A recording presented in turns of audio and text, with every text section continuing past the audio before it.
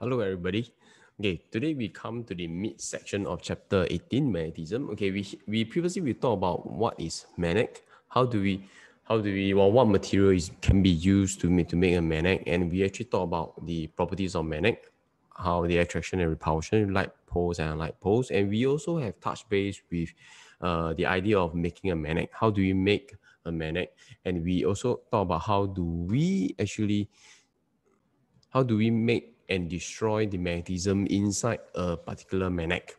And now in this section here, we will talk about how do you represent that magnetic effect. Or to be exact, how do we represent that magnetism? Where can we actually, how, how can we represent that effect in maybe on paper? How do we visualize that magnetic, uh, magnetic effect? And this particular topic here, we talk about one uh, one important section of visualizing that magnetism. Okay, and that is what we mean by magnetic fields. Okay, magnetic field is, uh, is, is how we visualize the magnetic effects of a magnet. Okay, and this is where, what this section is about, magnetic field. Okay, magnetic field loosely explained is, the area whereby you, the, the material actually experience the magnetic force, the, ex, the attraction and the repulsions, the uh, repulsion that we mentioned in the earlier topics.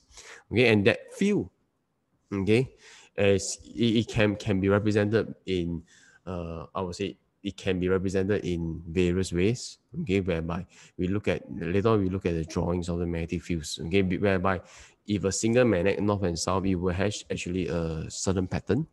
If you have a two magnets, okay, the magnetic field, the combined magnetic field will be a different magnet. Three magnets, the magnetic field will be again be different. But all these different magnetic fields, it, all these different magnetic fields, magnetic patterns, it actually goes down to one basic ways of doing. Okay, the idea of drawing the magnetic fields, even it magnetic fields lines, even though the patterns are different, but it has actually one common uh, way of doing it. And this is what the, this topic is going, uh, what this video is going to be about. Okay, we are looking at the field. We are looking at how do we create or recreate the field that's around the magnet. Now, if you look at the magnetic field lines here, the if you look if you Google on our website or in textbook, you'll find that this is where the magnetic field lines. The magnetic field lines is actually a representation of the magnetic field patterns. Is the area, it represents the area whereby the magnetic magnetism is actually experienced by other uh, other matters. Okay, it's all the, the magnetic field uh, produced by the magnet itself. Okay, and this is where we will tell the uh, this field actually tell the user or tell the other magnet where the magnetic force can be experienced okay? And in general we always you always see this arrow this line you always see this arrow is always point in a certain direction okay? And it's the direction that we are looking out for is actually is from north pole to south pole okay? And the the way we draw the magnetic field line is that we will make sure that you always start from the north to the south. Look at the arrow you always start from the north you end with the south. And we also make sure that the field line doesn't cross or intersect each other okay? One of the primary reasons that it doesn't intersect means it doesn't crisscross it's because of the fact that the field lines it represent it actually represent where the north pole or the south poles are actually being felt. And one of the common understanding that we want to present to everybody or the idea behind the field line is that like pole like poles repel. And because if each of the field line represent a pole okay, start from North Pole to South Pole, it represents the pole itself. You'll find that because they represent the, pole, the pole itself, you'll find that like poles, they tend to repel each other. So that's why the, the, the, the chances of them crossing each other or intersection, intersecting each other is virtually zero. Because like poles, they are supposed to repel each other. They are not supposed to cross each other. Okay, so that's why you will find that the field lines is always started from north to south and it's always, it will never cross each other okay? And there's one thing that you need to note is that the few lines okay the stronger few lines are actually drawn closer to each other. Meaning if you look at the spacing behind these two okay and the spacing behind this area you'll find that the spacing between the lines is actually broader as it's spread out okay? And it's nearer because and when it's nearing to the magnet itself. And this is what we are trying to present to the to everybody is that the few lines is drawn closer to represent the few strength is actually stronger towards the magnet and the few lines are actually drawn further apart, spread out to represent the magnetic effect is actually weaker. And I and this is actually quite logical because as you're nearing the, the magnet itself, you're nearing to the structure itself, the magnet itself, the magnetism effect it will be actually stronger. And when it's spread out, okay, you spread out bigger surface, the magnetism effect will actually lose, will actually be weaker because the coverage is actually increased. You increase the coverage, the strength has to reduce. Okay. Now, same thing. When you look at the, the field lines, okay, when you look at the few lines, there are different ways of drawing the few lines. Okay. The for example, for uh, two pieces of magnet, uh, north and south pole, unlike pole, you have you have this particular pattern and you have uh, like poles north and north you have this particular area here now how do we get to drawing the few lines here okay the few line here what we are trying to do here is we actually uses a north pole we let's say we can use a compass okay so what we do now is we actually place the compass in any directions okay so let's say i'm going to place the compass here okay the compass will actually point in a certain direction. Okay, why? Because compass it has north pole and south pole. Okay, so when you put the compass at this location here, you will find that the compass will be oriented in a certain direction like this. It will be pointing downwards. Why? Because the compass south pole and the compass north pole will be here. And why is it in this direction? Because south and north, okay, they will attract each other okay, because unlike pole attracts. So what you do now is at this location, you mark this arrow. So now you move the compass towards another location. You let it, you put on the table, let it swing freely. You'll find that the compass will have a certain direction again. No point in another direction. Same thing, you repeat the thing at other location. You'll find that compass will be pointing in a certain different direction. So what you do now, you jot down all these direction. And after that, once you reaches the north to the south pole, you reaches the other end of the magnet, you have what we call the field lines of that particular magnet. So what you do now is you just join them together. And that will be the field line that you have for that magnet. So what you do now is you repeat this process at different locations. And if you repeat it for enough, uh, more, more and more location, for example, in this case, I will place a magnet here again. The arrow will be this way, okay, because the magnet north pole will point upwards, the south pole will point downwards. Why? Because south and north, they are unlike poles, they will attract. So if you repeat this, you will have different arrows, many arrows, arrows. Okay, so this is what I mean by the field lines happening. Okay, so what you do is you repeat the process of using a compass at any location, at every location, and you will have these lines being drawn, being recorded. And this is what we mean by field lines. And this is how we actually derive the magnetic field lines. Okay. Then similarly, if you have a two like pole, same similarly, if you two like pole, you put the arrow, you point upwards. Okay, but surprisingly, you'll find that what we call repulsion. You'll find that these two field lines, okay, let's say if I have two magnet here, two compass here, you'll find that these two magnet, the north and north pole, they will repel each other. They will never see eye to eye. They will repel, repel each other.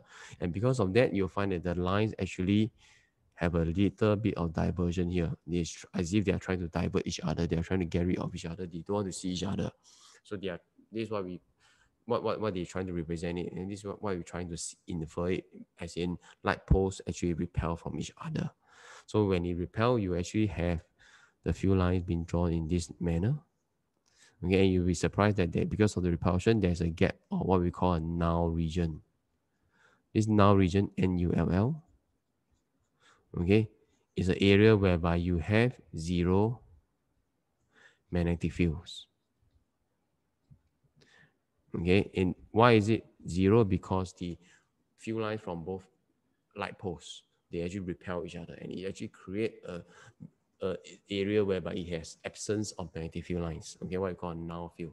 Okay, and of course, with this, okay, you can look at, you can refer back to a textbook or your notes that you have. Okay, you'll find that different poles are different magnets, north and south pole, two north pole, your horseshoe magnet. They all have different uh, various magnetic uh, field lines, different. Okay, and but the common thing about all these field lines, all this pattern is that the field lines, the way we draw the field lines, how we derive the field lines, the field pattern is actually the same by the use of compass and I just plot it. This is what we call plotting.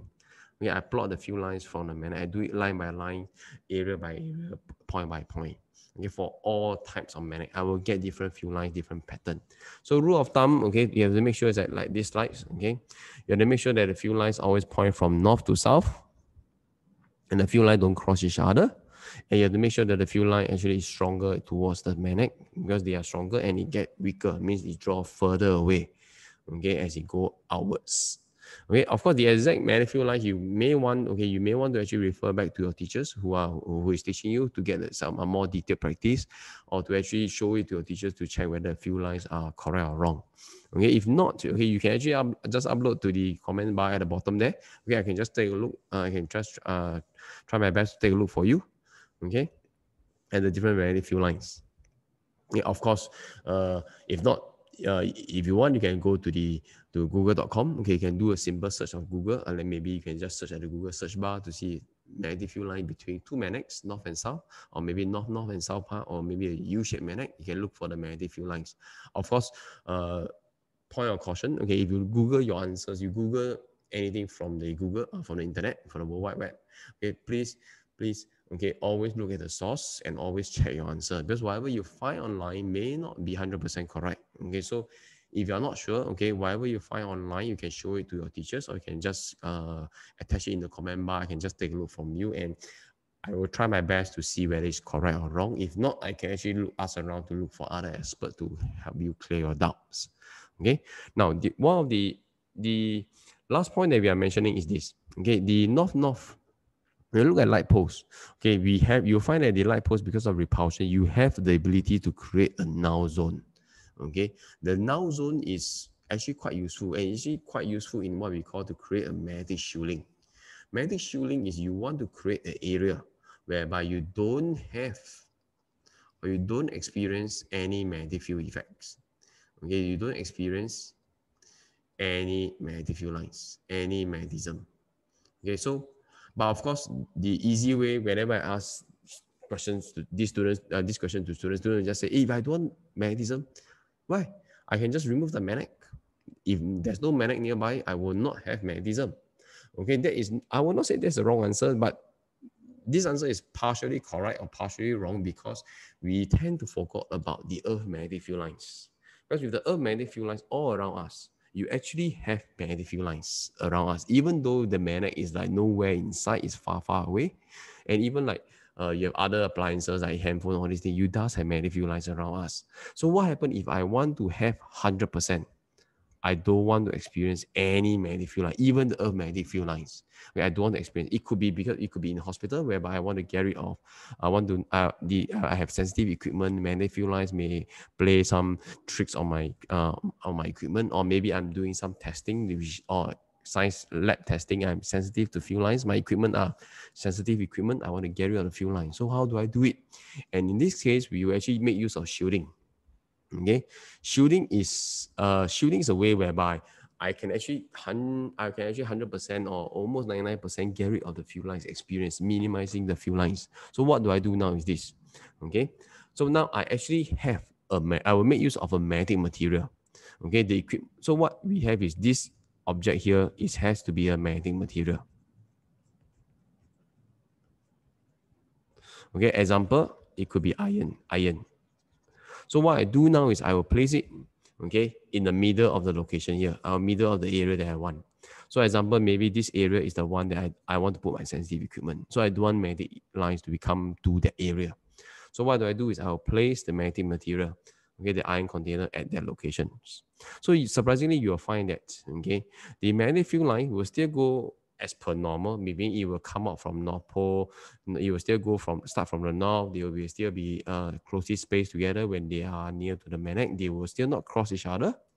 But now instead of going straight like this, going straight from north to south, what it does is because it's magnetic material in the in the middle there, so the field lines will be attracted to the magnetic field lines, or the, the field lines will be attracted to the magnetic material. So now the field lines will actually go through the magnetic material. So you look at the picture, you'll find that it will actually enter the magnetic material. And the best thing about, all the interesting thing about all this is they will still go through the magnetic material. And what the magnetic material does is it actually allows the magnetic field lines or it actually direct the field lines through the body. So I can actually redirect the field line. So instead of the field line going from left to right straight, I can actually still make the field line go from north to south left to right, okay, straight. But instead of going direct path, I can actually cause a few lines, okay, to flow around my material. Take a look, the few lines now actually follows the shape of the container, the magnetic material. So what it does now, it actually goes across or you're around the area or it go through the magnetic material and exit the magnetic material. And because of the design or the shape of the magnetic material, whereby it is hollow at the center here, you'll find that the field line, none of the field line actually now passes through the area. The field line now actually follows the shape of the magnetic material. If it's hollow, there's no magnetic material in the middle. Your field lines will not flow through the area. Okay, you take a look at the picture, you actually follow through the magnetic material and the field line, it will still go from north and it will still enter, it will still go to south. Okay, but right now the path they had done is the container now actually so-called redirect the field lines in the new orientation, in the new directions. And because of that, okay, I am actually able to protect my equipment, okay, to prevent magnetic field lines from entering that area here. And this is what we do, well, this is what we mean by shielding. I want to shield field lines from entering using magnetic material. So which means if I redesign my magnetic material, if I use, let's say if I, my magnetic, magnetic material is um, my magnetic material is a vertical bar. You'll find that my north pole, my few lines will actually go and it will actually follow the design of the material material itself. So if it's vertical, you find that my few lines go through instead of going straight through. Okay, my field line upon entering the magnetic material, it will actually follow the shape of the material. So if it's a vertical bar, you'll find that if it's a left to right, if the field line come from the left, if your magnetic material is vertical, you'll find that my field line will actually divert and some will go up, some will go down. And as a result, my right side here will not experience any field line at all. Okay, this is what we mean by magnetic shielding. I actually shield the area from magnetic field lines by redirecting the field lines. Okay, this is how shielding is achieved. How you can have a null zone, okay, but how can you get rid of the fuel line from the area? The main thing is to get uh, to redirect the fuel lines. Okay. Oh, uh, one thing before we end this. Okay. Uh, magnetic fuel lines. Okay, you'll find that uh, whenever you have a magnet, it actually points to the north pole of the magnet. But like we all know, is that the idea of a like poles. Okay, the idea of why my magnet always point north. So if I have a magnet, it points there. Oh, there's a north pole. We always say the magnet north pole points north. Okay, but scientifically we know that it doesn't. It may. It's a, there's a bit of ambiguity whereby my magnet points north. So we always say, or most of the geography people will say that oh, that because the magnet north pole point there, it is a north pole over there. But we all know that north pole, my magnet point there because of one thing, because there's unlike poles at the other end. Because I know unlike poles attracts.